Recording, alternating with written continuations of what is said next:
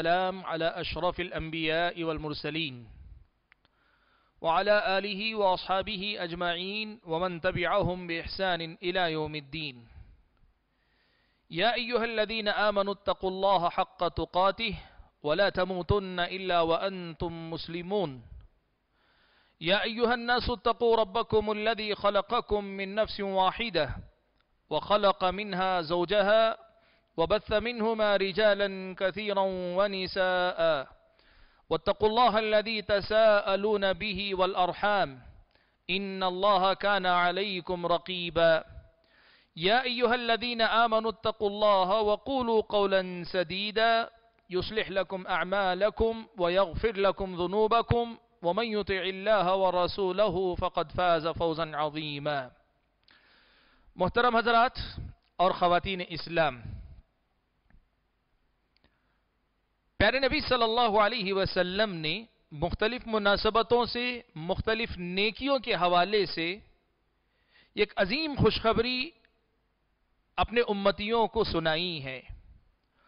और वो खुशखबरी ये है कि ये अमल करने वाले लोग कौम के सबसे अच्छे लोग हैं, उम्मत के सबसे बेहतर लोग हैं, नबी अलैहिस्सलाम के सबसे अच्छे उम्मती हैं और अल्लाह तबारक व ताला के सबसे अच्छे बंदे हैं। खैरुन्नास या खैरुकुम या इन्न मिन खियारिकुम ये वो अल्फाज हैं जो नबी अलैहिस्सलाम वक्तन फ़वक्तन इस्तेमाल करते रहे।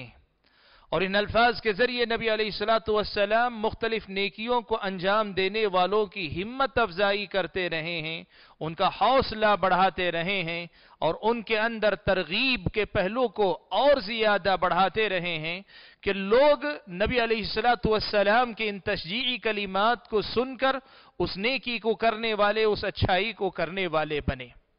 खैरुन्नास के सिलसिले में आज आप हजरात और ख़वातीन के सामने मैं एक ऐसी हदीस का तस्करा करने जा रहा हूँ जो हदीस बहुत कम सुनी जाती है, बहुत कम पढ़ी जाती है या बहुत कम उसका तस्करा आता है।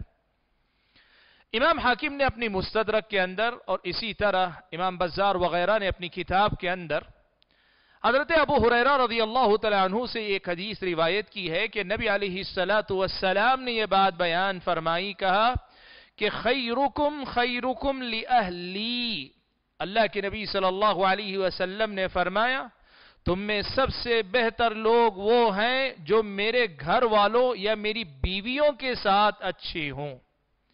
प्यारे नबी सल्लल्लाहु अलैहि वसल्लम की ये हदीस, शेख अलबानी रहमतुल्लाह अलैहि ने सिलसिलतुल अहादीथ सहीहा के अंदर इस हदीस को हसन करार दिया यानी नबी अलैहिस्सलाम से इस हदीस को साबित है, ये साब करार दिया हाजिर गिरामी इस हदीस का जो पैगाम है वो ये कि हम अगर उम्मत के सबसे बेहतर लोग बनना चाहते हैं तो एक रास्ता उसका ये भी है कि हम आप सल्लल्लाहु अलैहि वसल्लम की अजवाज मुतहरात के साथ बेहतर मामला रखने वाले बने। आप और मैं इस बात से बखूबी वाकिफ हैं कि नबी अलैहिस्सलाम की पाकबाज बीवियों से मुतालिक कुरान मजीद के अंदर अल्लाह तबारक ने फरमाया वह अजवाजुहू उम्महतुहुम।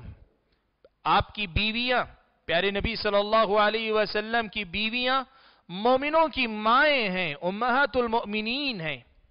इन उम्महातुल मोमिनीन से मुतालिक बेहतर मुआमला करना उनकी ज़िंदगी में जो किया जा सकता था ज़िंदगी में, और ज़िंदगी के बाद जो किया जा सकता है वो ज़िंदगी के बाद करते रहना ये असल में इन उम्महातुल मोमिनीन का हक है। माँ होने का हक है, नबी अलैहिस्सलाम की बीवी होने का हक है कि हम उनके साथ बेहतर मामला करें। आप और मैं ये बात बखूबी जानते हैं कि नबी अलैहिस्सलाम के हम पर कितने एहसानात, इस इंसानियत पर कितने एहसानात। आप सल्लल्लाहु अलैहि वसल्लम ने अपनी दिन और रात ये किए। आप सल्लल्लाहु अलैहि वसल्लम ने क्या कुछ नहीं सुना, क्या कुछ नहीं सहा। आप सल्लल्लाहु अलैहि वसल्लम ने हमारे लिए, आपके लिए, अल्लाह के नबी सल्लल्लाहु अलैहि वसल्लम ने कितनी दुआएँ नहीं की?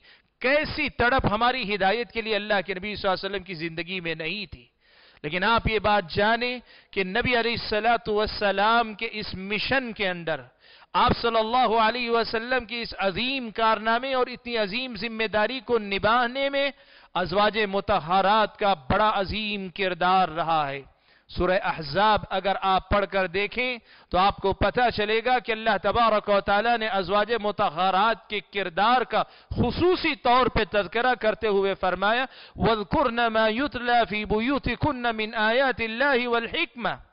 कि तुम्हारे घरों में जो बातें अल्लाह ताला की आयत और हिकमत की की जाती, नबी अली सलाम की इन बातों को याद रखकर आप मुंतकिल करें। आप सल्लल्लाहु अलैहि वसल्लम की इन पाक बाज बीवियों का ये कारनामा है कि आप सल्लल्लाहु अलैहि वसल्लम को उम्मतियों ने, उम्मत ने मस्जिद में देखा है, मैदान जंग में देखा है, बाज़ार में देखा है, बस्ती मोहल्ले के मुख्तलिफ़ मसाइल में देखा है। लेकिन घर के अंदर आप सल्लल्लाहु अलैहि वसल्लम की जो बातें रही हैं, छोटी सी छोटी बातें, बिलखसूस मियाँ बीवी के जो मामलात होते इन सारे मामलात में दीन का जो हिस्सा था, वो सारा हिस्सा इन्हीं अजवाज मुतहरात के ज़रिए तो हम तक पहुँचा है। कितने जमाने तक? माई आयशा सिद्दीक़ा रज़ी अल्लाह तला और इसी तरह हज़रत उम सलमा रज़ी अल्लाह तला के पास लोग आकर पूछा करते थे। तो इन उम्मतुलमिन का एक हक तो यह है कि इन्होंने दीन का एक बड़ा हिस्सा नबी सलाम से सिर्फ़ इन्होंने सीख कर उम्मत को सिखाया है। तो दूसरी तरफ़ इन उम्मतुलमिन का बड़ा कारनामा यह है कि वो नबी सलाम के हम गम में शरीक रहा करती थी। आप सल्लल्लाहु अलैहि वसल्लम की खुशी और आपके गम में हिस्सेदार थी। आप सल्लल्लाहु अलैहि वसल्लम की तकलीफ़, परेशानी में आपकी साथी थी। आप सल्लल्लाहु अलैहि वसल्लम की हमदम थी, दमसाज थी। नबी अलैहिस्सलाम के गम में शरीक होती थी गम गुसार थी। आप सल्लल्लाहु अलैहि वसल्लम की परेशानी में आपको बेहतर मशवरे देकर आपका सहारा बनने वाली थी। आप सल्लल्लाहु अलैहि वसल्लम, जिस वक्त वही नाजिल हुई और आप परेशान होकर वापस लौटे थे, माई खदीजा रदी अल्लाह तला ने कैसे अल्लाह के नबी सल्लल्लाहु अलैहि वसल्लम को सहारा दिया था, कैसे तसल्ली दी थी, ये वाकया आप सभी सुनते हैं, जानते हैं। आप सल्लल्लाहु अलैहि वसल्लम उम्र करने के लिए गए। मक्के में लोग उम्र से रोक देते। हैं अल्लाह के नबी वसल्लम सहाबा को हुक्म देते हैं कि हलाल हो जाओ। अपना जो है एहराम खोल दो, अपने सर मुंडवा लो। साहबा तैयार नहीं होती, अल्लाह के नबी परेशान हैं। उम्म सलमा रज़ी अल्लाह ऐसे मौके पर नबी सलाम को आकर मशवरा देती हैं, अल्लाह के नबी, आप खुद आगे बढ़ के सर मुंडवा लीजिए, एहराम खोल दीजिए, सारे लोग खुद ब खुद कर लेंगे। जो परेशानी थी, उम्म सलमा रज़ी अल्लाह उम्मुलमिन ने एक मशवरे के ज़रिए उसे हल कर दिया। मरदुल मौत में नबी सलाम को कैसा करार, कैसा सुकून हज़रत हज़रत आयशा के पास मिलता होगा कि अल्लाह के नबी अजवाज मुतहरात ही से पूछा करते थे ऐन अन गदन ऐन अन गदन? कल मैं किसके पास हूँ? कल मेरी बारी किसके पास है? युरीदू यौम आयशा। हज़रत आयशा की बारी कब आएगी? इसका इंतज़ार कर रहे हैं। महतुलमोमिन ने मशवरा किया अल्लाह के नबी से कहा अल्लाह के नबी हम अपने हकूक से दस बरदार होते हैं और आपसे कहते हैं जहाँ आप रहना चाहे रह लें अल्लाह के नबी वसल्लम हज़रत आयशा के पास अपने आखिरी दिन गुजारते हैं मरजुल मौत की उस शिद्दत में हज़रत आयशा के पास नबी सलाम को कैसा सुकून मिलता होगा कि अल्लाह के नबी सल्लल्लाहु अलैहि वसल्लम ने हज़रत आयशा के, के पास रहना पसंद किया माई आयशा कहती थी अल्लाह के नबी सल्लल्लाहु अलैहि वसल्लम वसल्लम की जान गई तो अल्लाह के नबी वसल्लम मेरे सीने से सर टिकाए हुए थे। इसी हालत में आप सल्लल्लाहु अलैहि वसल्लम की रूह कब्ज हुई। सीरत में आप पढ़ते हैं, कई मरतबा ऐसे भी होता है कि अल्लाह के नबी सल्लल्लाहु अलैहि वसल्लम माई आयशा की गोद में सर रखे हुए आराम कर रहे होते हैं। ये वह उम्मतुलमिन हैं, जो नबी अलैहिस्सलाम के साथी थी। आपका सहारा बनती थी दुनियावी आपके, आप सल्लल्लाहु अलैहि वसल्लम का जज्बाती सहारा, आप सल्लल्लाहु अलैहि वसल्लम की हिम्मत और हौसला बढ़ाने वाली ये अजीम खवातीन थी। इन खवातीन का ये हक बनता है कि हम उनके साथ बेहतर रहें। ज़िंदगी और मौत दोनों ही मौकों पर उनसे मोहब्बत करें। उनसे मोहब्बत रखें, उनका तस्करा एहतराम से करें, उनसे अकीदत और मोहब्बत महसूस करें अपने दिलो दिमाग के अंदर। और अल्लाह ने तोफीक दी है अपनी बच्चियों के नाम उन उम्मतुलमोमिन के नाम पर रखें। इतना ही नहीं, उनकी ज़िंदगी में उनका बेहतर तस्करा करें और उनकी मौत के बाद भी उनका अच्छा तस्करा करें।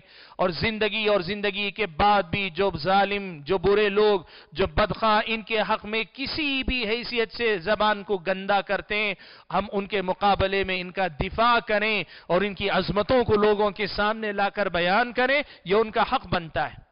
नबी सलाम ने इसी बात की तरफ़ इशारा करते हुए कहा कि खैरुकुम खैरुकुम ली जो मेरी बीवियों के साथ अच्छा बर्ताव करने वाला होगा, वो तुम में सबसे बेहतर इंसान होगा। सुबहान अल्लाह प्यारे नबी सल्लल्लाहु अलैहि वसल्लम ने सबसे अच्छे बनने का एक रास्ता, एक जाबिता यह भी सिखलाया, बतलाया है कि हम और आप उम्मतुल के साथ अपने आप को सबसे अच्छा बनाए।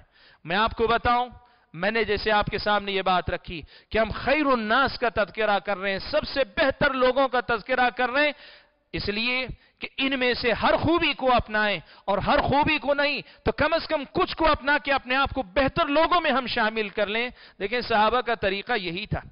आपने हज़रत अब्दुलरहमान इबन औफ रदी अल्लाह तु का तस्करा सुना होगा। सहाबा में बड़े मालदार साहबी, बल्कि सबसे ज़्यादा बड़े मालदार साहबी शुमार किए जाते हैं। अशर मुबशरा में से हैं हज़रत अब्दुलरहमान इबन औफ रज़ी अल्लाह तु को अल्लाह के नबी ने जीते जी जन्नती होने की बशारत दी। ये खुद इस बात की दलील है यहाँ सहाबा के मुकाबले में भी बेहतर सहाबी और ऊँचे दर्जे के सहाबी लेकिन उसके साथ साथ आप देखें अब्दुलरहमान इबन आउफ रदी अल्लाह तु का यह मामला था, इनकी ज़िंदगी में, इनकी ज़िंदगी के बाद अगर आप देखेंगे तो आपको एक बात पता चलेगी, सीरत पढ़ के देखें कि इन्होंने अपनी ज़िंदगी में यह मामला अपने ऊपर लागू कर लिया था कि नबी सलाम की ज़िंदगी के बाद अजवाज मतहारात के अखराजात के लिए बैतुलमाल से जो आना था, वो तो आता था। लेकिन हज़रत अब्दुलरहमान इबन आउफ ने यह ज़िम्मेदारी अपने ऊपर ले ली थी कि अगर इनमें से कोई उम्रे के लिए जाना चाहती, हज के लिए जाना चाहती तो हज़रत अब्दुलरहमान इबन औफ सारे वसाइल खुद फराहम करते और खुद उनके साथ निकला करते थे, सफ़र करके जाते। कहीं वो पड़ाव डालते तो उनके पड़ाव के लिए खीमा लगाने के बाद वादी के दोनों तरफ़ एहतमाम करते, खुद खड़े हो जाते, अपने नौकरों को खड़ा कर देते कि देखो आने जाने वाले लोगों, तुम किसी और वादी में, अगली किसी वादी में क्याम कर लेना कि यहाँ नबी की पाकबाज बीवियों ने पड़ाव डाला हुआ है। हज़रत अब्दुलरहमान इबन औफ रदी अल्लाह तु ने इस सुन्नत को अपनाया कि खैरुकुम खैरुकुम ली अहली, तुम में सबसे बेहतर वो है जो मेरी बीवियों के साथ सबसे बेहतर सलूक करे। सुबहान अल्लाह अब्दुलरहमान इबन औफ रदी अल्लाह तु की जब वफात हुई, जब हज़रत अब्दुलरहमान इबन औफ रदी अल्लाह तु की वफात हुई तो इंतकाल से पहले उन्होंने जो वसीयत की थी, उनकी वसीयत में यह हिस्सा भी शामिल था। उन्होंने अपनी वसीयत में से एक बाग के सिलसिले में वसीयत कर दी कि यह बाग बेचकर उम्मतुलमिन को इसमें से पैसा दिया जाए। मौरखीन ने लिखा है कि बाग को बेचा गया, आठ लाख दिरहम में वह बाग बिछा बिका, आठ लाख दिरहम में वो बाग बेचा गया और वो बिका तो इस बाग से आने वाली आमदनी को उम्मतुलमोमिन को दे दिया गया कि अब्दुलरहमान इबन औफ का तोहफा है। सुबहान अल्लाह कुर्बान जाइए कि जीते जी खिदमत गुजार बनकर रहे। दुनिया से जाते हुए भी उनको तोहफा देते गए। और अगर हम देखें तो देकर नहीं गए, बजाहिर देकर गए, लेकिन हकीकत में लेकर गए। क्या लेकर गए? नबी अली सलाम की तरफ़ से मिलने वाली ये बशारत लेकर गए कि खई रुकुम खई रुकुम ली अहली, तुम में सबसे बेहतर वो हैं जो मेरी बीवियों के साथ अच्छे रहे, ये बशारत अपने साथ लेकर गए। अब्दुलरहमान इबन आउफ रदी अल्लाह को अल्लाह तला ने जो दर्जा अता फरमाया कि वह मुबशर बिल जन्ना, जन्नत की खुशखबरी उनको दी गई थी। उसके बहुत सारे असबाब होंगे, उनके अंदर अल्लाह ताला ने खूबियाँ बहुत सारी रखी होगी, लेकिन उन खूबियों में एक नुमाया खूबी यह भी थी कि उन्होंने उस नेकी को अपनाया, उस खैर को अपनाया कि जिस खैर के अपनाने वाले को नबी सलाम ने खैर हुकुम का तुम में सबसे बेहतर करार दिया हाजीन गिरामी, इस हदीस के तस्करे से आज आपके सामने जो बात मैं याद दिलाना चाहता हूँ वो ये। कि हम अगर बेहतर बनना चाहते हैं, हम सबसे अच्छे होना चाहते हैं तो हमारे सामने एक दरवाज़ा यह भी खुला है कि हम अजवाज मतहरात उम्मतुलमिन के इन हकूक को पहचान कर अपनी अकीदत का, अपनी मोहब्बत का नजराना पेश करें, हम उनके साथ बेहतर सलूक करें, हम उनकी बात, उनकी उनके जो हकूक हम पर आयद होते हैं उनका तस्करा हम न सिर्फ़ लोगों में आम करें, बल्कि खुद अमल करने वाले दूसरे भी उन हकूक को अदा करने वाला, बनने की दूसरों को भी तरगीब देने की कोशिश करें। मैं अपनी गुफ्तगु को मुख्तसर करते हुए आज यहीं पर अपनी बात को रोकता हूँ और अल्लाह ताला से दुआ करता हूँ कि अल्लाह ताला मुझको और आप सबको अपनी उम्मतुलमिन इन नेक माओं के हक में सबसे बेहतर बेटा इस माने में बनने की तोफ़ी अता फरमाए कि हम वो उम्मती हैं जो नबी के उम्मती हैं और इन उम्मतुलमिन को हम माँ के दर्जे में रखकर उनका एहतराम भी करते हैं उनके हकूक भी अदा करते हैं आमीन व आखिर दावाना अलहमदिल्ला रबालमीन वालकम वरहमल वर्का